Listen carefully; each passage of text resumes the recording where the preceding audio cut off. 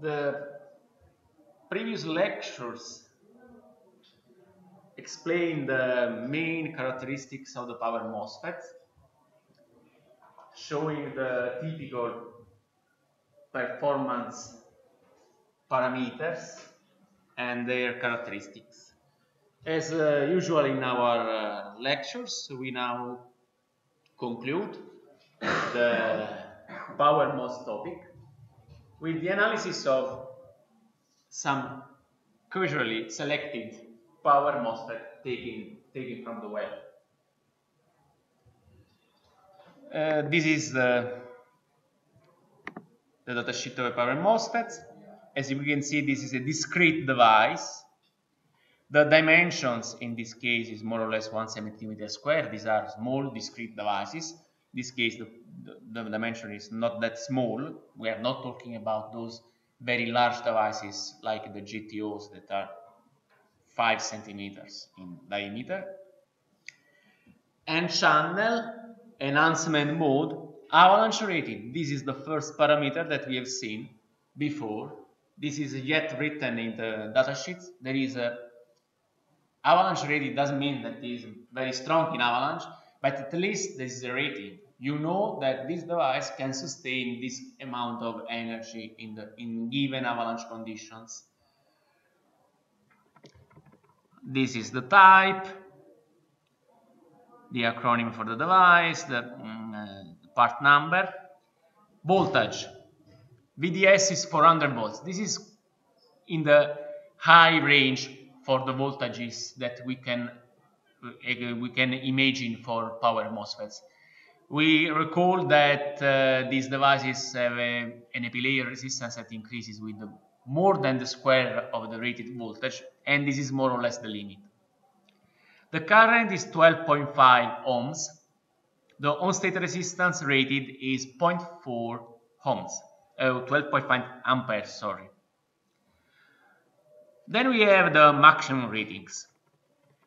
Continuous drain current 12.5 amps.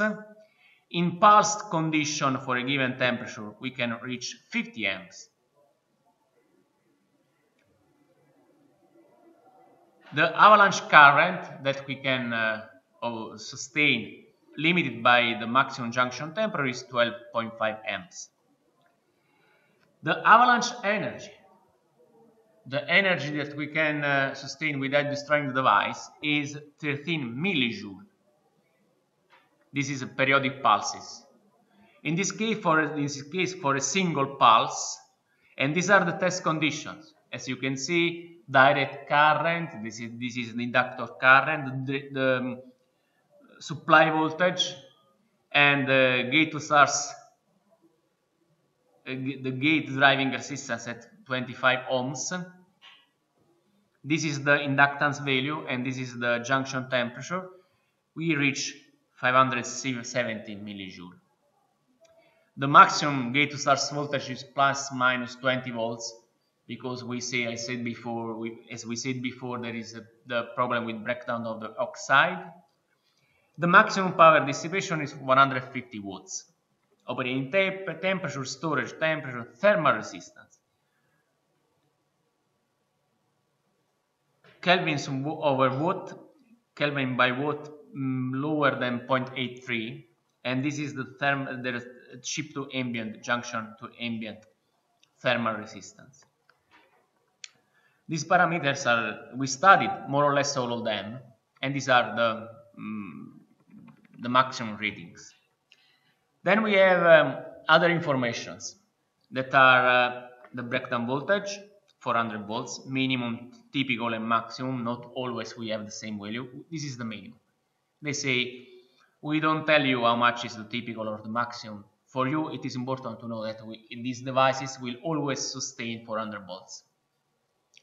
The threshold voltage this, this has quite a large variation. Uh, 2.1 to 4 volts.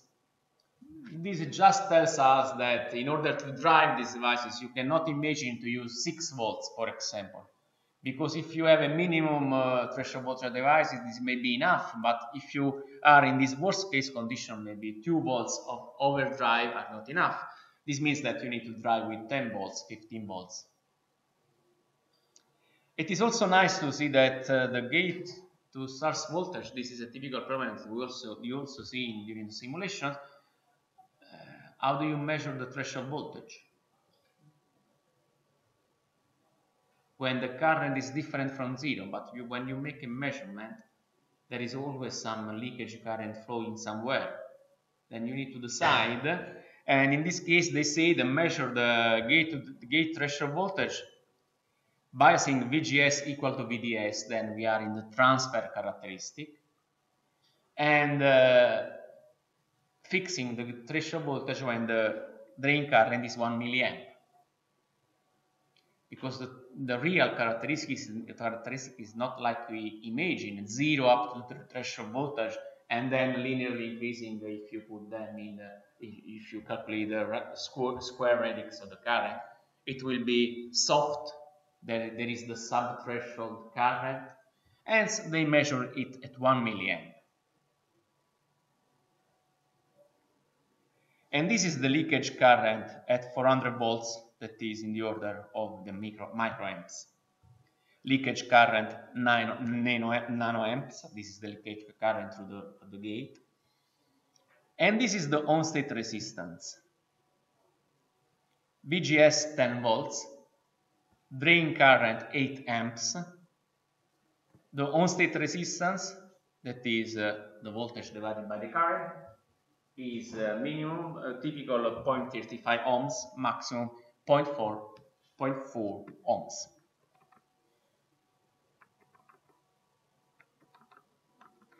Then we have dynamic characteristics. This is the transconductance. Mm, we didn't study this in, in, in many details but as you can see, the input, output, and reverse capacitances. This is the, are the test conditions. Turn on delay time, rise time, delay time during the off fall time. These are transient parameters. Uh, the numbers are also important. Nanoseconds. These devices are most of devices, they are quite fast. They, they will switch much faster than one microsecond. You can uh, imagine to switch these devices at 50 kilohertz, 100 kilohertz, for example, for low power devices. The switching frequency increase when you use MOSFETs. If you if we recall for the lowest devices that we studied, the GTO, the switching frequency were hundreds of hertz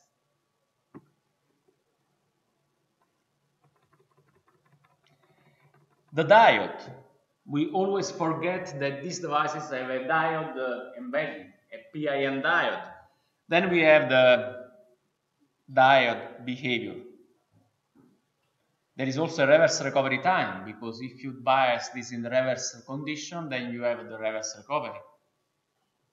Charge and reverse recovery time.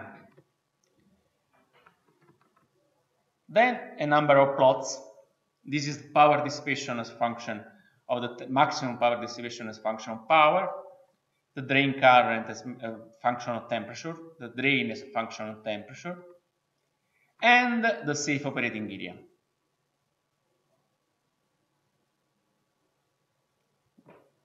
Four hundred volts, on-state resistance, maximum power. This is 150 watts probably. Let's see if we can measure the if we can measure the power dissipation at 100 volts at 100 volts the current is uh, below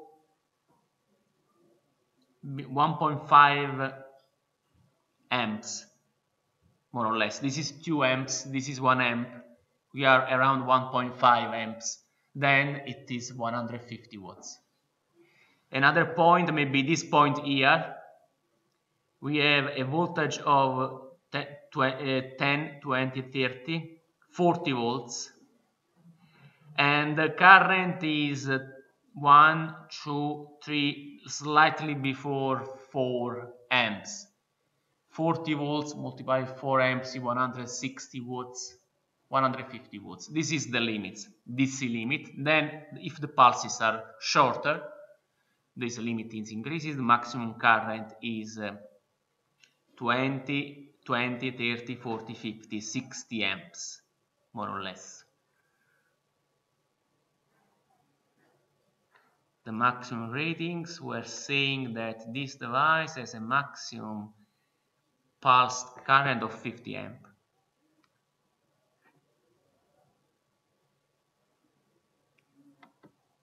The thermal transient the trans, transient thermal impedance this is also a very well-known plot for us. And these are the IV characteristics. For various VGS these are very well-known characteristics for us these are the various VGS voltages up to 20 volts why not showing the pinch of currents here because we will never work, work at these currents. The maximum is 50 amps and in static condition is 12.5. This is the maximum current. In the off state you can work at very high voltages. But in the on state you will work in this region. And please note also another important aspect. In this region there is not much difference in the on state resistance if you move from uh, 10 volts and 20 volts on gate to source, gate to source voltage. These two curves are very very close here. This is the on-state resistance in various conditions as a function of the current. This is the inverse of this one. This dash dot line is the constant power, maximum power dissipation line. That is a hyperbolic in linear scale, 150 watts. Uh, transfer characteristics, VDS, uh, more or less uh, increasing VDS with fixed VGS. No, increasing VGS with fixed VDS. And this is the threshold voltage more or less. As you can see, this increase here is linear, is not parabolic like we expected. This is the forward transconductance RDS on as a function of temperature that increases as we do expect and this is the threshold voltage that as a function of temperature decreases as we do expect. These are the input, uh, output and reverse capacitances plotted as a function of the VDS. As usual, we do expect the, the reverse charge capacitance is the smallest one the other two are bigger because they include the gate to drain capacitance. This is the reverse diode, the forward characteristic of the reverse diode. And these are the parameters of the avalanche energy as a function of the temperature. And this is the gate charge. ED I drain current fixed to 15 amps and this is the gate charge. As you can see there are two curves. One with larger VDS this is 0.8 VDS max that is 320 volts.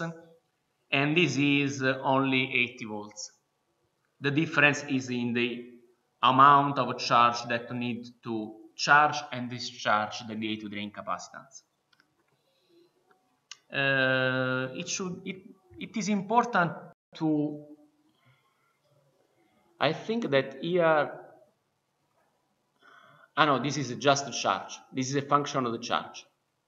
This is not the time.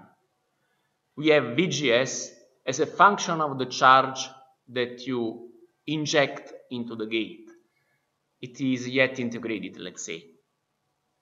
You don't need to integrate, if we had time, you need to integrate the current. You need to know the current multiplied by the time to get the charge. But this is just a function of the charge.